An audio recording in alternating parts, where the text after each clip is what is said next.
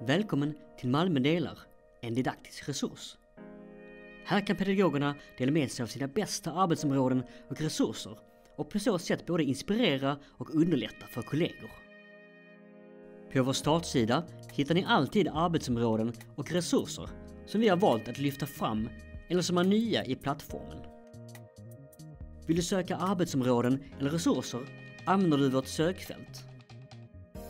Vill du avgränsa din sökning kan du filtrera efter ämne och årskurs.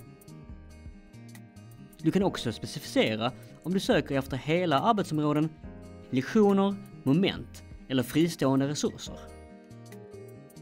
En sökning kan ge resultat som sträcker sig över flera olika årskurser, från årskurs 1 till och med gymnasiet.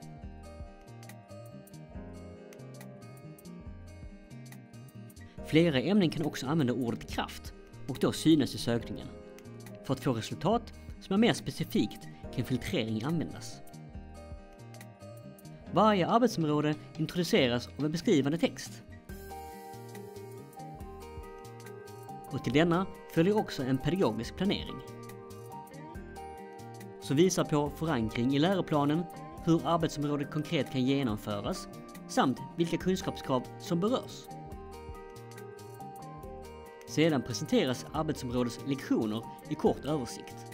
Här kan du få en uppfattning om hur stort arbetsområdet är. Varje lektion innehåller en presentation samt en kort översikt av lektionens olika moment. Enligt samma modell som tidigare. Varje moment innehåller en kollegial handledning. En chans att få ta del av den praktiska erfarenhet som arbetsområdets författare har. Under moment kommer också det enda materialet som riktar sig till elever. Med en knapptryckning kan detta material exporteras direkt till elevernas Google Classroom. Väl i Classroom kan läraren sedan göra vilka förändringar av materialet den vill och sedan dela ut det som en uppgift. Förhoppningsvis kommer Malmö Delar att både inspirera dig och underlätta ditt arbete. När du känner dig redo kan du sedan själv bidra med dina bästa alster. För tillsammans kan vi skapa förutsättningarna för varje elevs bästa skola. Välkommen till Malmö Delar, en didaktisk resurs.